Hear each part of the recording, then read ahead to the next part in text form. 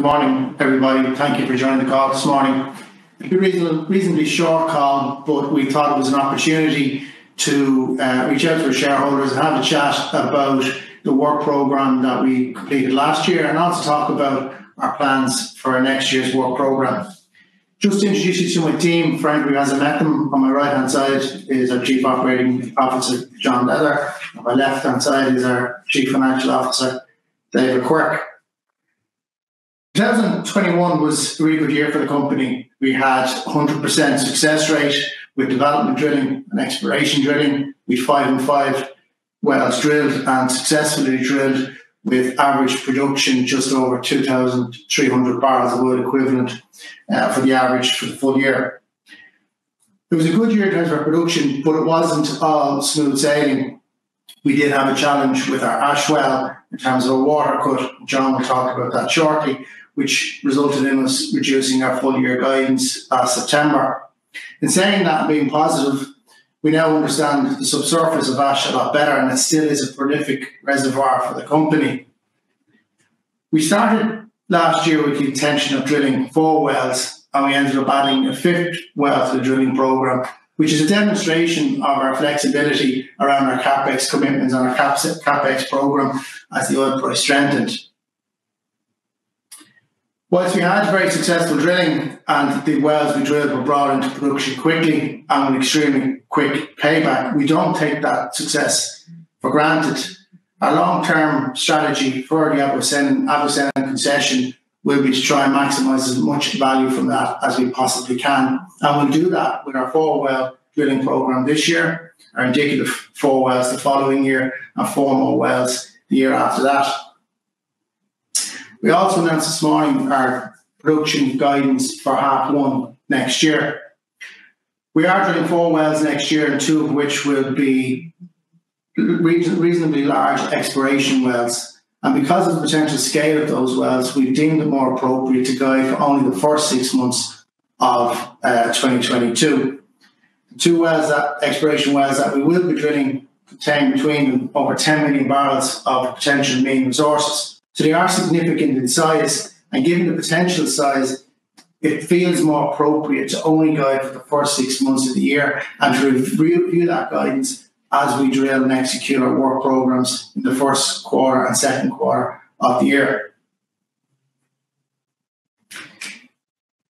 Whilst production is the production guidance for the first half maybe a little bit lower than expected, I would draw your attention back to the performance of the asset since we completed the acquisition. When we completed the deal or we announced the deal, the asset was performing or producing 800 barrels of oil equivalent. And since then, we've increased production substantially.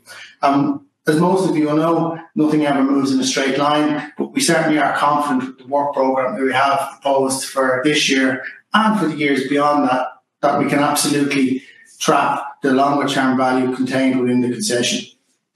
We're also pleased to announce a two-year license extension in Jamaica, which gives us security over title for the license for the longer term, and it means that we can continue our farm down efforts on that part of the portfolio.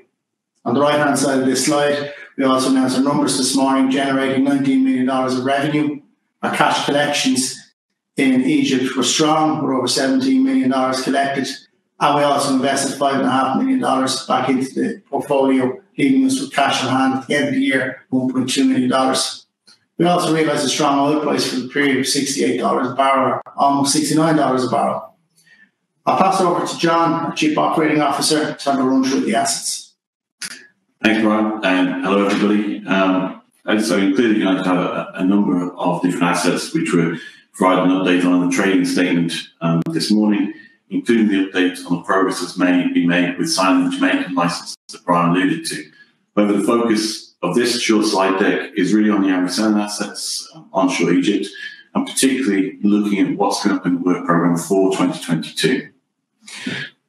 However, before we uh, get on to this year's program and what's going up in that, I think it's worth having a brief review of the activity that occurred on the assets and the license during 2021. First thing to say, it was a very successful year um, last year in terms of success with the drill bit. We drilled five wells, um, had five successes, 100% success record uh, that spanned both exploration and development drilling. Now, with Typical paybacks, typically three to 12 months on those wells. They're clearly drilling out a lot of value to the license. And you can see the impact it even had on, on full year production in 2021 on the bar chart there, the green section shows the contribution that the, the wells were actually drilled last year made to production um, last year. Now, those wells clearly added value in terms of production, revenue, but also every well we drill contributes to the knowledge that we have on the asset. Having drilled five wells last year, you know, that's added not just to our understanding of the producing fields, but also to the, uh, the exploration area and helping to really de-risk uh, the, the exploration targets that we will be targeting this year and beyond. There were two exploration wells drilled last year. Um, both of them made commercial discoveries. Between them, um, we estimate they added around 2 million barrels of, gross reserves. And we had 20 year, two, 20 year development concession grants over both of those commercial discoveries, which you can see highlighted on the map here at ASX and ASD. And with production from those fields uh, coming online last year, we now have eight producing fields in the Abu Sennan license. Um, and perhaps not surprisingly, given that two of those three successful development wells that happened last year were into the Al field, um, of those eight producing fields, Al is now the largest contributor to production from Abu Sennan, contributing to a little over a third of the total production. I think when, when reviewing 2021, we also need to mention um, the ash field. Um, and during the summer of last year, we saw a faster than anticipated increase in the water cut and decrease in, in the production uh, from the wells on that field. We provided a report on that in September, but I am pleased to be able to report today since that time, beginning of September, with wells flowing on, on more constrained choke, we have seen a stabilisation in both the decline in production and the increase in water cut. Having now had time to really monitor the field, um, observe the behaviour of the wells, and complete more detailed technical work, including reservoir modelling and incorporating results of the Ash 3 well that was drilled last year, we're now at a stage where we, we have a very good understanding of the field. And the first thing that that has led to is that you know we will be in the 2022 work program installing um, ESPs, electrical submersible pumps, into each of the ash wells, looking to to maintain flow rates from those wells, and optimise uh, production, and maximise the ultimate recovery from the field. The other thing that's become clear from the technical work that we've done on ash over the last number of months is that there's a very large um, stock at the field. So that that's the, oil that's actually in place there. We estimate that's around 15 million barrels. Given the rates that we know these wells can fly, 1,000 barrels per day, we know there's a lot of oil left in the ground. We want to get as much of that out as possible, both through the existing wells with the ESP installation, but also through future drilling, uh, looking to, to looking to target that large volume that we know is there. Indeed, we now have a, a firm ash well, a firm development well into the ash field on the 2022 program, which I'll come back to in the coming slides. Which leads us on then into the, uh, the drilling program for, or the uh, operating program for uh, the coming year. Um, to go through to see there's a lot of activity planned for 2022. And first thing to say is all of that work program is fully funded with four firm wells planned. Two of these are development wells. Um, the ASD2 well, which pleased to say we announced alongside the train station this morning, has now commenced drilling. So that's currently underway. And also the um, Ash 5 well, which is what I was talking about on the previous slide, which will be drilled into the Ash field. In addition to those wells, we have two firm exploration wells, ASF 1X and ASB 1X, Slightly confusingly, ASV1X on some previous on previous slide it was named as ASD1X. It is the same structure, it's just had been renamed. And between those two wells, are targeting combined mean recoverable resource estimated at around 10 million barrels. Now, to put that into context, um, that, that figure is five times um, the volume that was targeted with two exploration wells last year. So these really are material exploration wells that are chasing and potentially high impact volumes.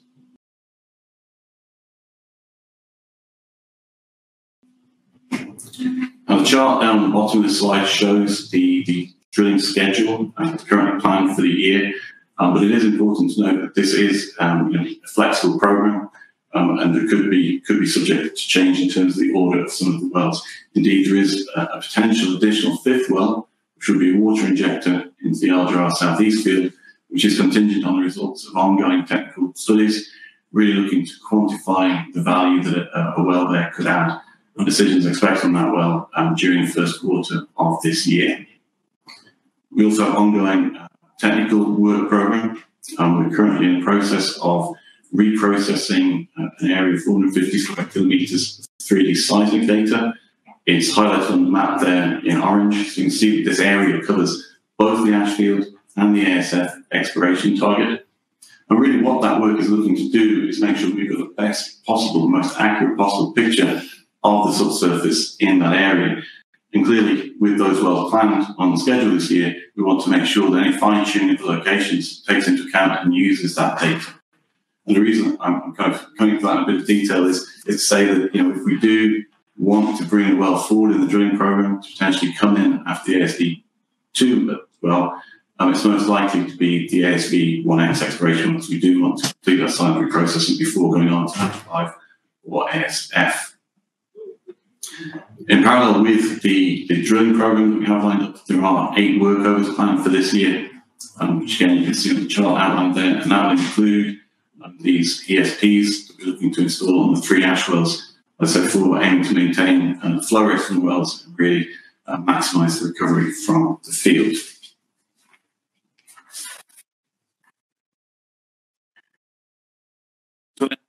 What we expect, what that drilling program, what activity program is likely to deliver, um, starting off with the, the H1 production guidance, um, I think, you know, as Brian's already alluded to, the guidance provided between 1,500 to 1,650 BOEs per day.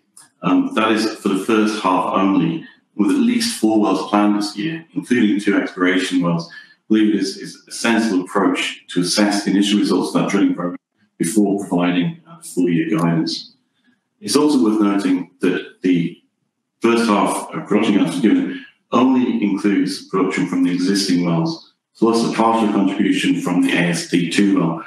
That well is, is currently drilling, but we're not expecting it to come on stream and start uh, contributing to production until the second quarter of this year. So that means we're not going to see the full half of production from it. But the impact that the drilling program is going to have, you know, when we look at the chart um, above the, the production shine, uh, production from the field since its onset in 2012, and projecting it into the future. I think as we move through this year and into 2023, you can really see the potential of the drilling campaign and the potential add, particularly from the exploration wells um, that we are drilling this year. I'll come on to those on the next slide, but it is important to also stress that the planned development wells, which are low cost, low risk wells are also expected to add significant value um, to the asset. And some of the details on those wells are provided uh, on the map here on the right hand side of the slide.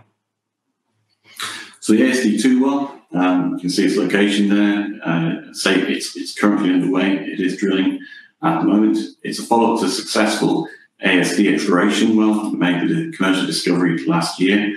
So a number of aims, including looking to prove up the gross upside volumes, of five and a half million barrels of in place uh, volumes that are estimated to be held in the Abu Roash C reservoir. Um, it'll also be looking to accelerate production from the field and will also be targeting a secondary objective in slightly deeper Abu Roash E reservoirs. Second firm uh, development well is the, the Ash 5 well. Uh, the primary target of that well is Alam El Bueib or AEB reservoirs, um, which has produced over 3.5 million barrels from the field to date and individual wells to be produced at over uh, you know, in the thousands of barrels of oil per day. As I mentioned on the previous slide, you know, the, the latest technical work we've been doing indicates that there's clearly a large in-place oil volume at this field in the region of 15 million barrels gross. So there's, you know, a large price to get over here, to, to get after here. Um, well has potential to deliver a very high flow rates. So clearly it's, it's, you know, high impact, uh, potential development well, um, one that we are very much looking forward to drill once we have the plant processing to ensure that well is optimally located in the field. So we've got exciting development drilling coming up. That's really the focus of the first half of the year. And then start looking then moving on to the exploration wells that will come into the second half that really have that potential to provide a step change in terms of production coming uh, from the license. So this slide then looking at those exploration targets. Um, two exploration wells for this year. They are high impact wells. They are targeting large exploration volumes. We estimate to be around 10 million barrels um, gross. So before is five times um, the volumes that were targeted with the exploration drilling of last year. But although they are large targets, it's important to emphasize as well that they're also uh, you know, comparatively low risk this is a prolific basin. It's a well understood basin. Historically, we've seen very high exploration rates getting up to close to 80%. And with the continuing work that we're doing and the continuing incorporation of all the drilling results that we've had over the last two years and doing all the technical work we can, uh, including seismic processing, doing everything we can to ensure um, that you know what we are targeting are not just the largest volumes, but also you know, de-risking them as far as we possibly can. The bubble plot on this slide, um, this is based on United's um, internal estimates of uh, volume along the horizontal axis and chance of success along the vertical axis. And it shows clearly where the two wells we're targeting this year sit in the larger portfolio of exploration targets that sit in the Abu Sennan license. And one thing that stands out very clearly on this um, plot is the vast majority of the targets identified, not just the two that have been drilled this year, sit well to the right of the blue line on the chart here. And that blue line represents the minimum commercial field size. And I think it's really a testament to you know, the low operating uh, cost environment we have here, the low drilling cost environment, that so many of the targets here are clearly um, you know, commercial, should we have success at them. The other thing I think stands out very clearly on this is ASF1X. It's clearly the largest um, target um, that we have currently on the license, um, over 8 million barrels of potential within it.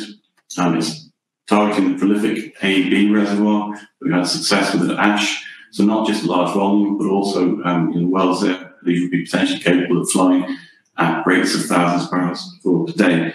So on its own, um, yeah, very exciting well. Um, it's one that you know, United have had high graded for a while, and we're very pleased to be uh, drilling this year it on a firm drilling schedule.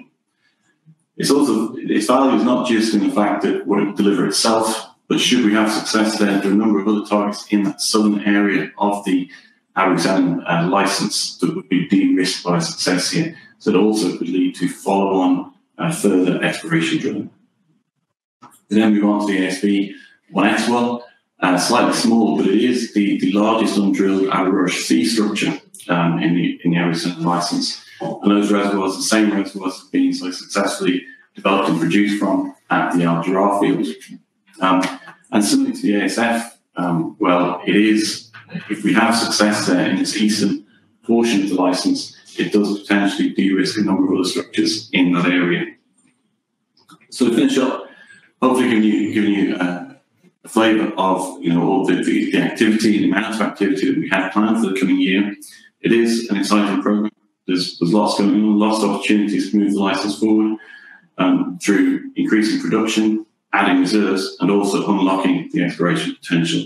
I think it's a program we're very much looking forward um, to delivering, very much looking forward to seeing the results, and looking forward to engaging again with, with you once we have the progress report on this.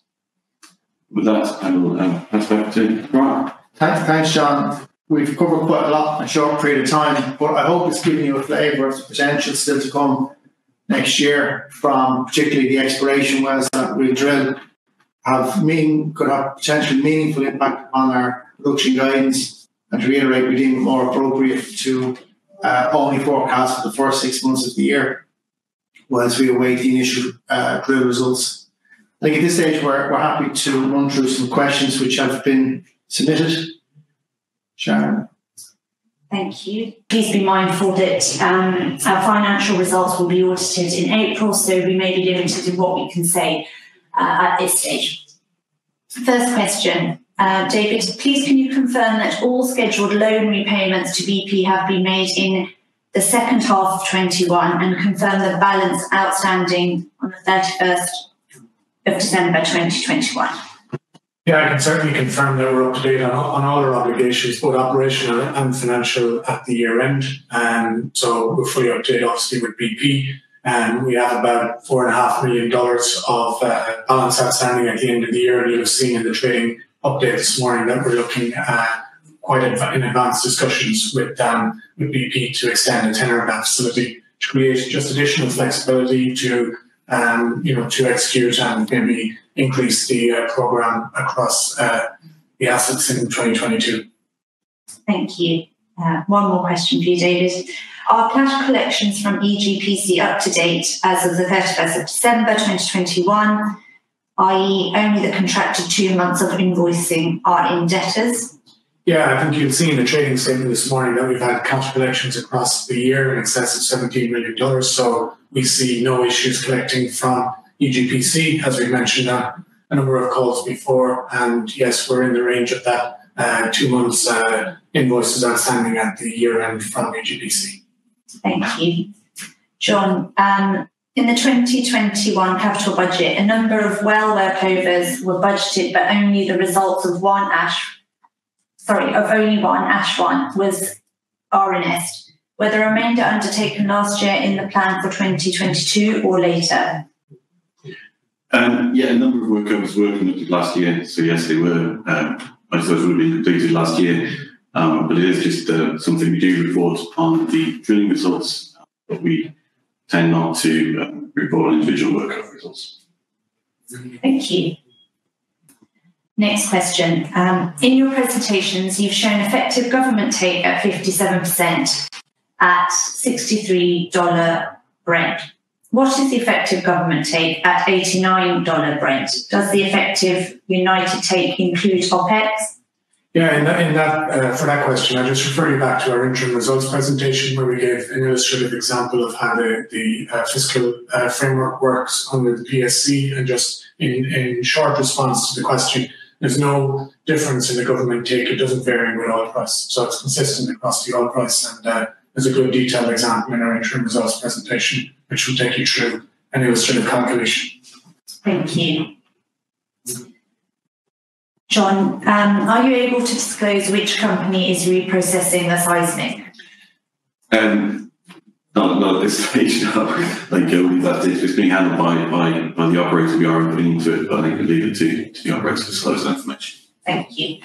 Are you able to provide more information on the type of seismic reprocessing that is being conducted? Is the product going to be pre-stack time or pre-stack depth? Yeah, it's, it's, an, it's an interesting question, one um, I could probably talk about for a while. I think um, what, what we've seen, in, in, part of the reason we're doing this is when you look at the previous process being done on it, you know, when you move from pre-stack time to pre-stack depth, um, that's when you can actually change the shape of it. And we've got some differences between us. What we're looking to do is make sure that we are um, really taking into account all of the data that's there, being as careful and reprocessing it in, the most effective way. Um, as I said, I could talk on time, but the simple answer is yes, it would take three steps. Thank you, John. Trying to understand how 19 million revenue and only a cash balance year end in a 70 plus oil environment with only 1.2 million. Is there a big receivables overhang built up at the year end?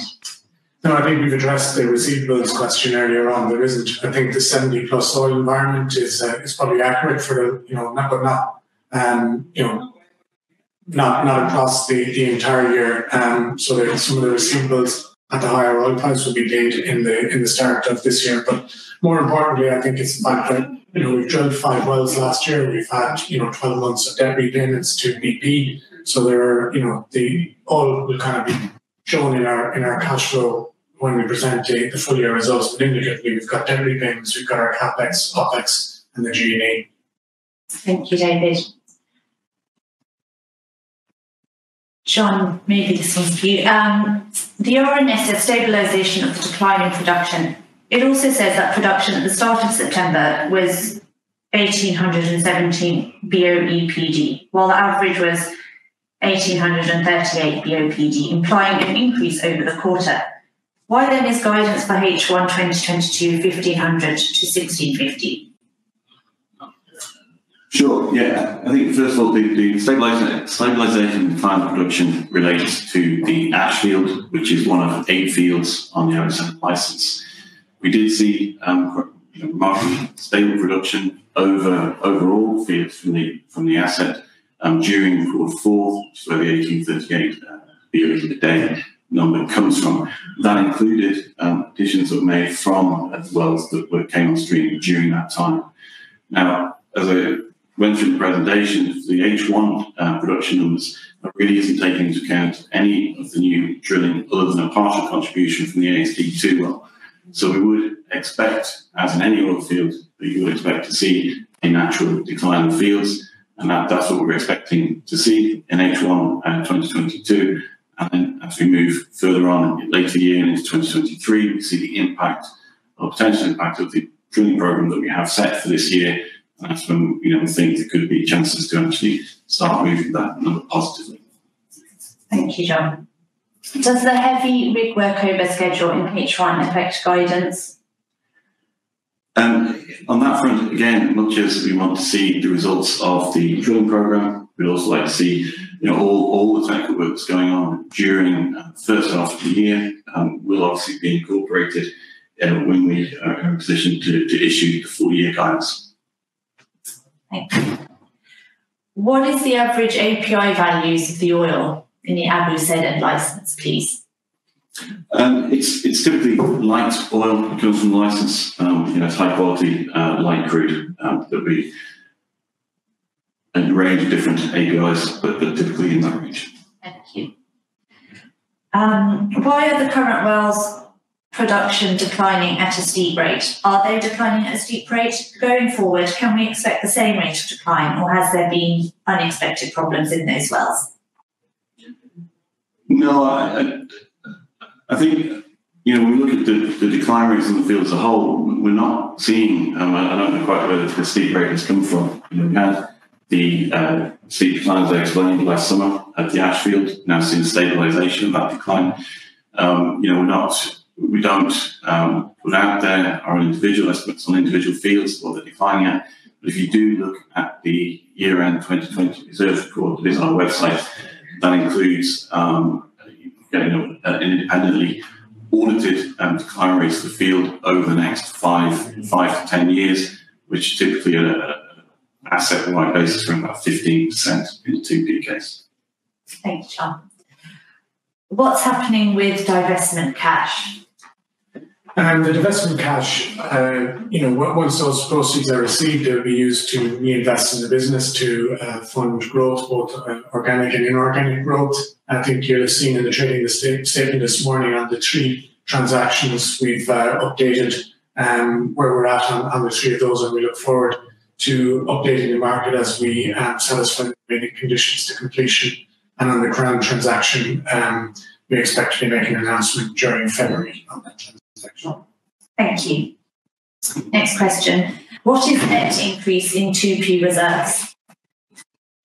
Um, well, we've got, we have our own estimates of the um, increase being provided from the two exploration wells um, that were drilled last year, um, just over 2 million barrels of oil um, from those added in.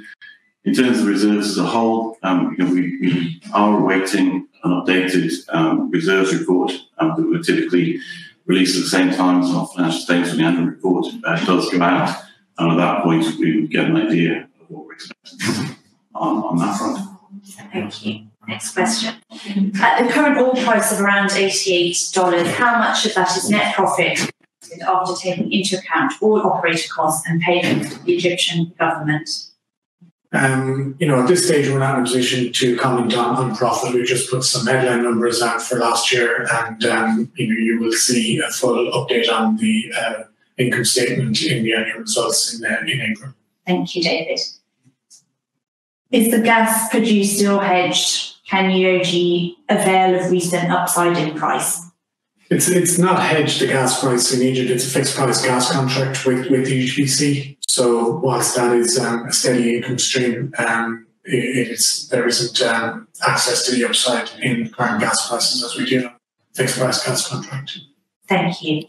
Next question: Have you made any progress in your search for M and A targets? Are these pending on additional cash generation and the receipt of disposable proceeds? I'll take that one, Sharon. We, we're continuously looking for opportunities to scale up the company that will create value for our shareholders. We did look at a number of opportunities throughout last year, and in fact, we brought a small number further in a process, but decided ultimately that they weren't a fit for us. Part of the challenge we've set ourselves is that we've got high investment hurdles. And we are, that means that we have to remain particularly patient when we're looking for the right opportunities. And that approach previously has been vindicated with the success that we've achieved in Egypt. In terms of cash generation uh, or disposal proceeds to fund any acquisition, in an ideal scenario, we'd like to be using as much of our own balance sheet coupled with debt as possible to acquire assets.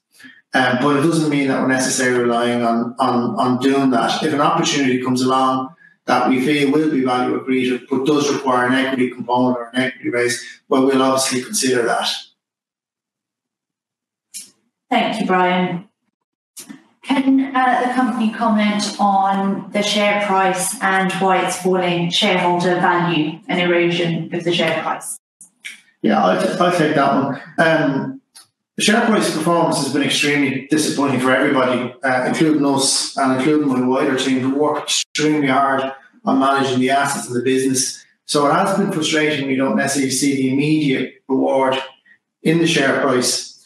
There's a number of factors that drive share price, some of which are within our control and some are not in our control, such as macroeconomic sentiment towards the sector. There's not much we can do about that.